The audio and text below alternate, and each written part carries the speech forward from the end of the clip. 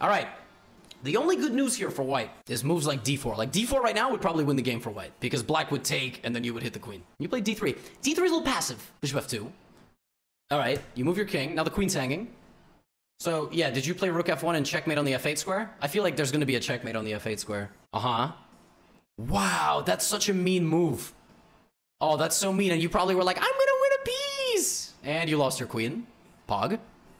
Okay. But you won a lot of pieces, so it's not the end of the world. You have a bishop for a queen. That's pretty good. Uh-huh. Great move. Oh, wow. Nice. Now, black should just probably, like, play h6, king h7. You play h6, king h7. You kind of can never lose this. Uh-huh.